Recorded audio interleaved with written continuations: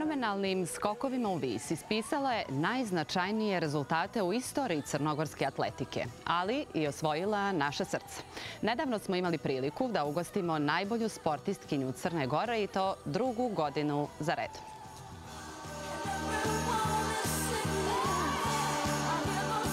Marija, dobrodošla. Opet najbolja. Hvala Boljeta naša, hvala na pozivu.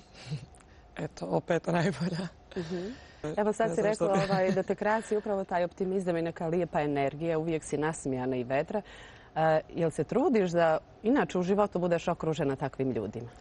Trudim se i volim, a i generalno mislim da me život nekako i povezuje sa tim pozitivnim, jer ovaj, samim tim što nisam negativna i što ne volim da mračim, mislim da im ne bih uspjela uz takve ljude da provedem neki duži mhm. vremenski period. Tako da imam tu sreću da sam stvarno okružena divnim ljudima i da, da sve nekako ovaj, ide uz šalu, zabavu, smijeh i te ozbiljne teme i kad su neozbiljne da je sve nekako lagano baš zbog toga što su i oni na neki način isti kao ja. Mhm.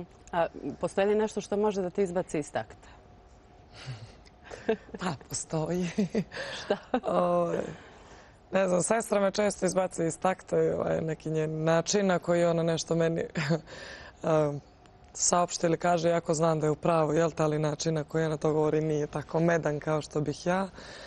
Ali ne toliko stvari. Mhm. Mislim da, da ili se trudi, makar da se ne opterećujem nekim nebitnim stvarima, jer sam dosta ovaj, tih nekih bitnih prošla i prošla nekih stvari što u stvari shvatiš da se ne treba toliko stresirati ili da se izbacim iz takta jer će svakako sve biti jel te, ok na kraju i ovaj, trudim se da to ne bude mhm. toliko često, iako se desi.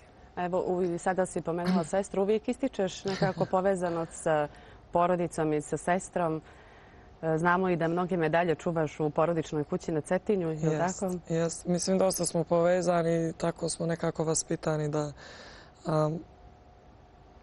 da se podržavamo i međusobno... Čim može ona najviše te iznervira, znači, da je to znači, to. Definitivno.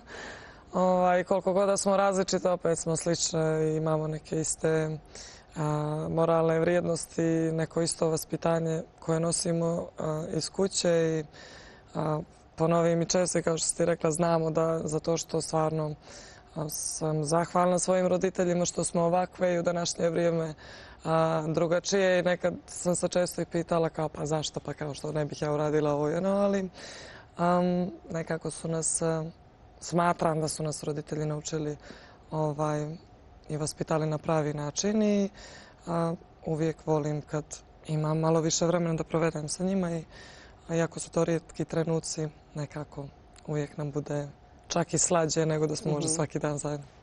A ovaj, nekako mi kada gledamo sportiste, uvijek vidimo te njihove rezultate, medalje, nagrade, a ne sve ono što su oni prošli da bi došli do tog cilja. Tu su, pretpostavljam, sati i sati provedeni na treninzima, putovanja, povrede, pripreme. Šta je ono što ti najviše nedostaje?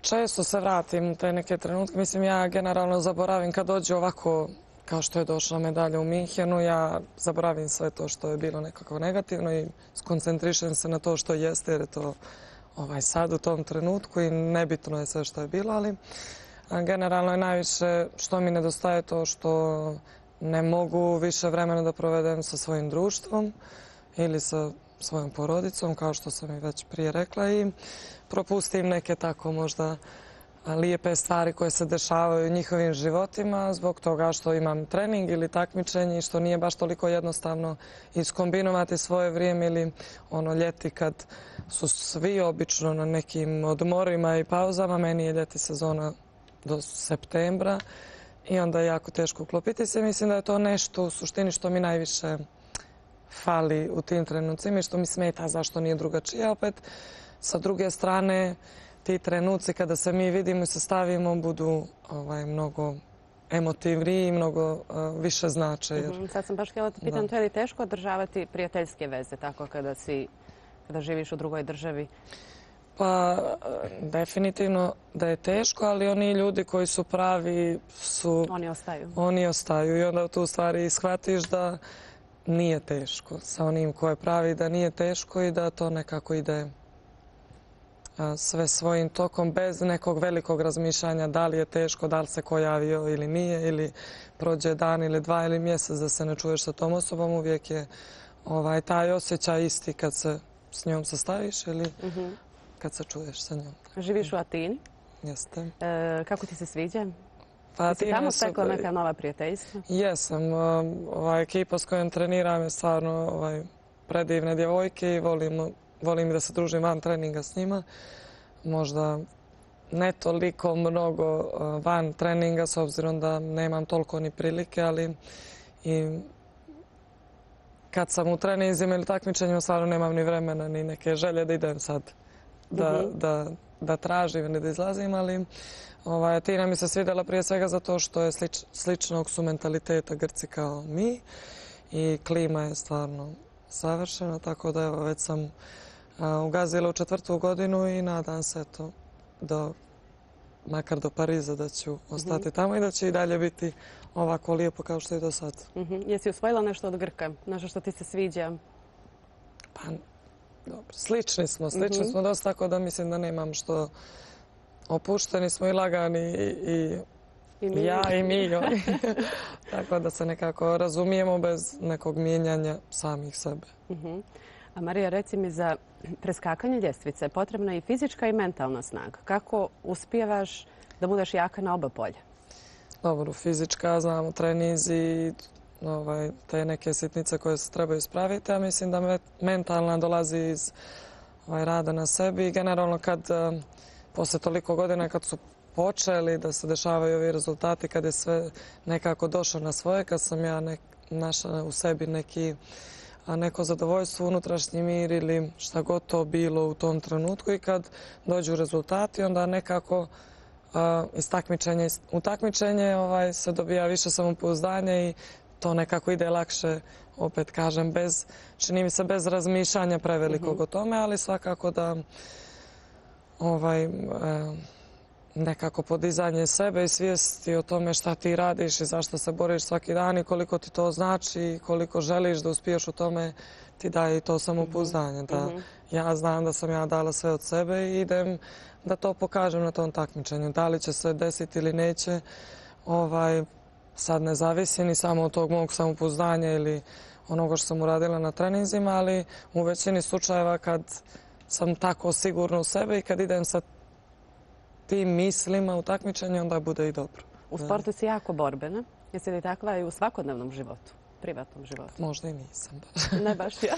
A možda sam malo previše osjetljiva ili mhm. ovaj, lagana. Mislim, lagana sam i u sportu, ali kad dođu ti neki trenuci kad se treba i kad ja to baš želim, ovaj, shvatila sam da imam tu stranu u sebi, ali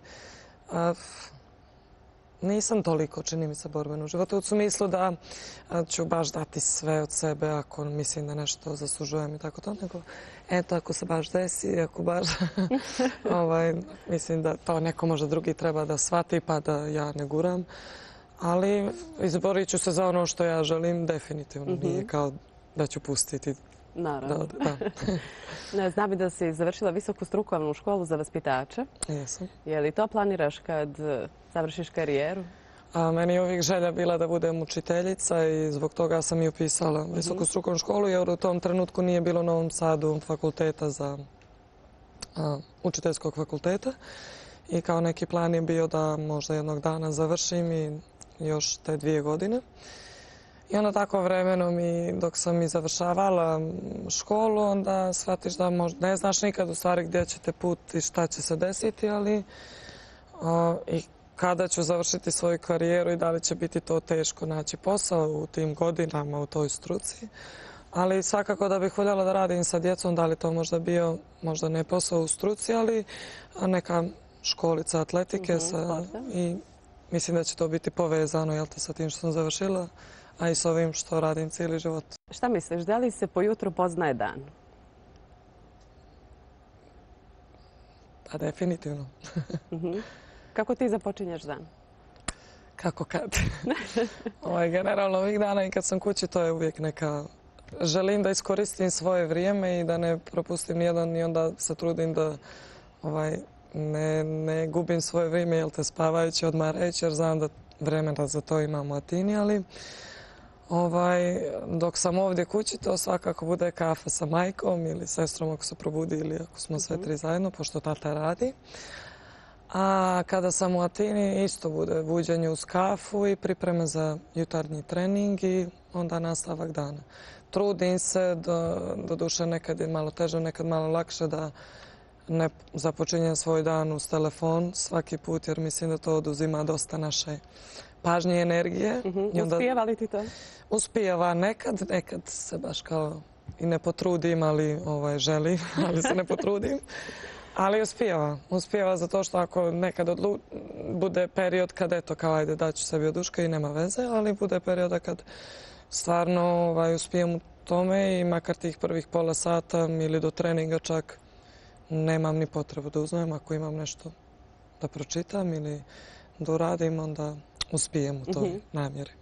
Ovo je nekako vrijeme kada svi sumiramo utiske iz prethodne godine. Sa kakvim nadama i očekivanjima ulaziš u 2023. Um, prije svega sam zahvala na ovoj godini što se nekako nadovezala na onu prethodnu, zato što je to bilo nešto što sam ja poželjela prošle godine da nastavim gdje sam stala, posle Tokija. I stvarno se to nekako ostvarilo i došlo je na svoje i a rekla bih također za ovu, za narednu godinu želim nekako da nastavim ovo što se tiče moje karijere u istom tom nivou, ako ne čak i bolje i da me zdravlje jel te posluži i da jel te jedno su želje, drugo su mogućnosti ako dođe do nekih tako stvari, ali bih voljela stvarno da nastavim i da moja karijera a, makar do Pariza, da što bi ja rekla da svih ovih prethodnih 6-7 godina gdje me nije bilo nadoknadim ove četiri do Pariza. Već su dvije prošle pa imam još dvije. A i nekako bih a, ovaj, i poželjela i na privatnom planu da a, se neke stvari stabilizuju i da, da to ide jedno sa drugim u pravom smjeru i da ovaj, budem zadovoljna na oba polja. Marija, hvala ti puno što si bila naša gošća. Mi sa nestrpljenjem čekamo tvoje nove skokove i navijamo uvijek za tebe. Hvala puno na pozivu i drago mi je da smo se podružili i želim i vama sve najbolje u narednoj godini. Hvala puno.